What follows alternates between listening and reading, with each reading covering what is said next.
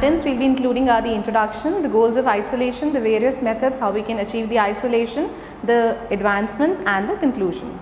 So, to begin with the introduction, we can say that it is important that we need to have the adequate control over the operating field that wherever we are working, we should have the control over that. So, how can we achieve that? If we have the proper moisture control, the good accessibility, visibility as well as the adequate room for the instrumentation. And along with that, we have to remember that we do not give any harm to the patient. That is the most important thing. So these are the various goals that we need to have the moisture control, the retraction in the axis, the harm prevention, the safe and the aseptic operating field. How can we achieve the moisture control? Using the various methods which we will be discussing. Moisture control means that we need not have to have any saliva, the gingival bleeding, the gingival fluid, that all has to be eliminated.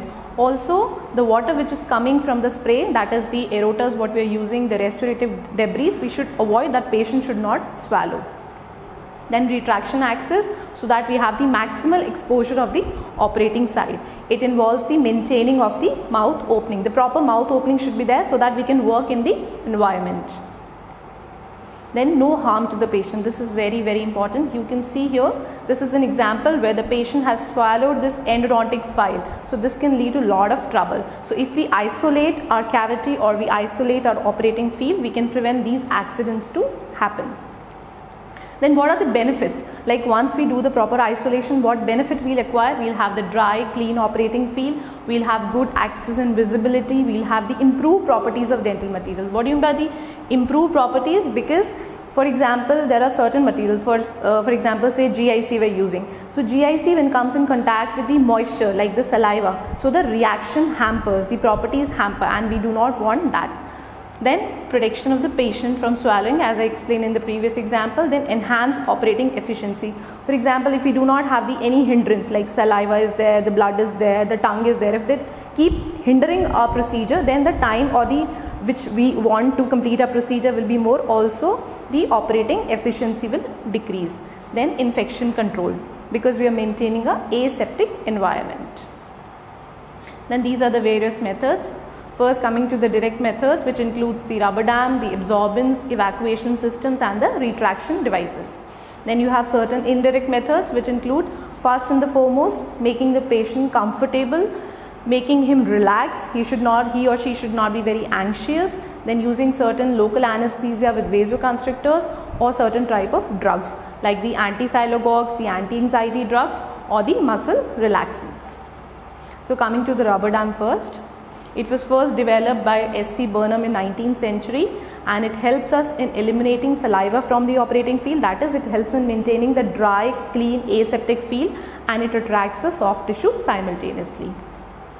So again the advantages will remain the same if we are following the proper isolation then we can definitely achieve the isolation goals and we'll have good visibility, retraction, dry feel, uh, then reduces the injury of the soft tissue. That is again very important. We should not injure the adjacent tissues. So that is again important. Then at the end it will all lead to the improvement of the operator's efficiency but while we are using the rubber dam, there are certain problems which we can encounter like we can say that it is time consuming. But it is only in the beginning it happens. Once you start using it, it becomes very, very effective and you'll just, you might reduce the time to even one minute, but that one minute will save your overall time for the procedure difficult to convince the patient but you have to convince your patient you have to explain the benefits that why it is better if you use the rubber dam rather than not using it what harm it could have then injury to the gingival tissues, yes, if you do not use it properly, you might harm the adjacent tissue, but you have to be careful while using the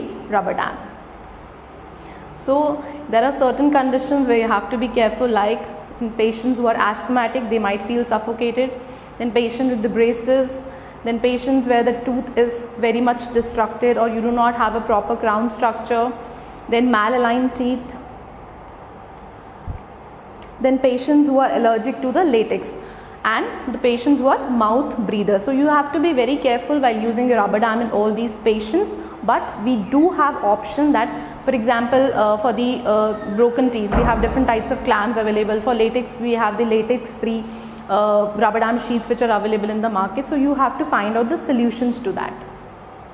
These are the various components of the rubber dam kit. There is a There's a frame, there's a sheet, the lubricant, the punch, the forceps and the various types of clamps. Now there are certain recent advances. There are different types of rubber dams available in the market which makes it very handy to be placed like the dry dam, the Optra dam, frame flexi dam, the Opti dam, Insti dam. They have made the procedure little simple. Then the absorbents. Absorbents include the cotton rolls which is the most common one. Each one of us is using it and they are mainly useful for the procedures like examination, the sealant placement, impression taking, topical fluoride application, cementation. They're just to be used for these procedures, not for the operative procedures. They can manually roll them or they are available as prefabricated in the market. Then cellulose wafers, they are mainly used for the parotid gland opening. So they have to be placed in the cheek like here so that the secretion from the parotid duct can be blocked and you have a moisture free environment. Then throat shield, this is almost like a gauze sponge of 2 by 2 inch size it has an advantage that apart from providing the moisture control, it also helps in preventing the danger of aspirating or swallowing of the small objects. So, it is very useful. Now, coming to the evacuation systems, you have mainly two types, the high one and the low vacuum evacuation system. The high evacuation systems are used while you are doing a restorative procedures because they along with removing the water, they also remove the cuttings of the tooth and the restorative material and they even do not cause a dehydration and at speed at which they work is 150 ml of the water in 1 second. That much of water they can remove in 1 second. Then the low volume evacuators or the saliva ejectors, they are not very sufficiently strong vacuum.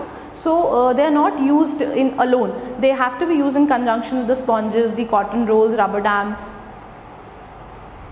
This is how they are being. So, they are mainly used for the short procedures.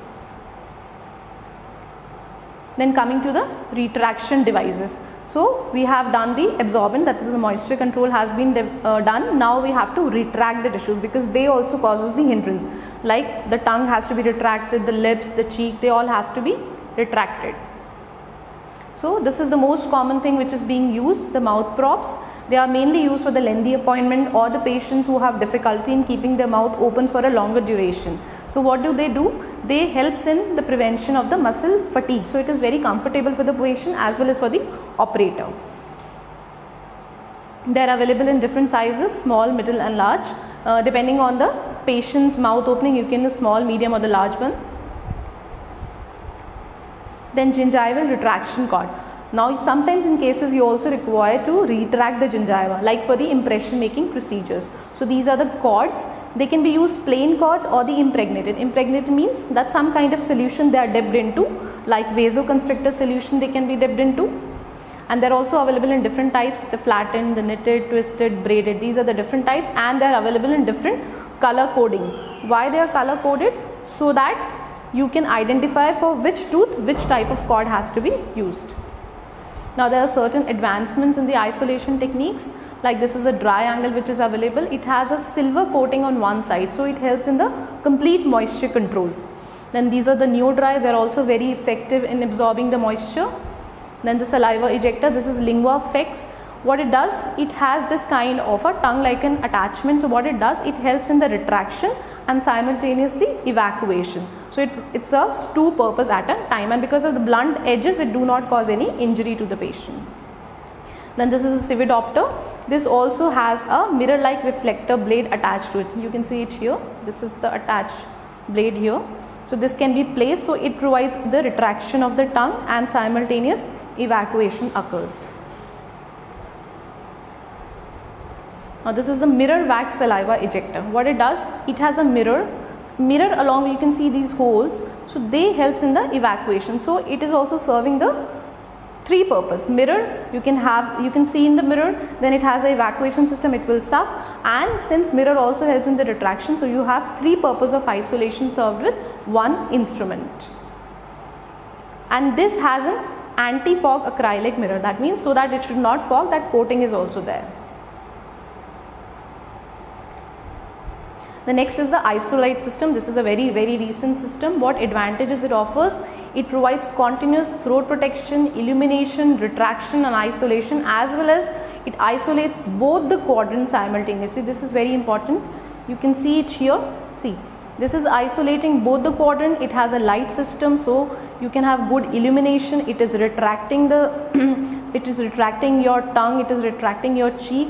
So simultaneously it is almost serving all the purpose, all the goals of isolation which we want indirect isolation. So these were the direct methods. Now coming to the indirect techniques, there are just few of that. First is the modifying the anxiety level. This is very important that your patient should be relaxed and non-anxious because why? Once a patient is more anxious may have more salivation and it can lead to the interference in your procedure. So your patient need to be calm and relaxed. That can be done just by talking to the patient or sometimes drugs are required. We'll just see it here. Then local anesthesia with vasoconstrictors. What it does?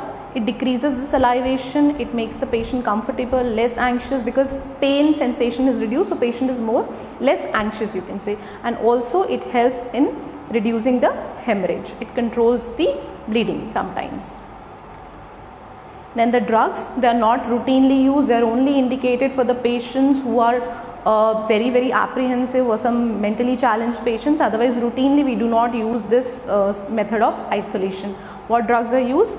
Like you can use the anti-sialogogues or the anti-anxiety. That means reducing the salivation using atropine or scopolamine or for the anxiety purpose you can use a diazepam, lorazepam and sometimes even the muscle relaxants are being used like cyclobenzaprine, carisoprodol these can be used. So we can say that it is a thorough knowledge of the preliminary procedure reduces the physical strain on the dental team. Yes, once the patient is comfortable, you have a good accessibility, visibility to your operating side. The physical strain on the doctor reduces, patient's anxiety is also less. So it will lead to the overall enhancement of the quality of the operative procedure. So achievement of proper isolation enhances successful outcome of the operative procedures as well as the operator's efficiency. These are the references you can you refer to these books for this topic. Thank you.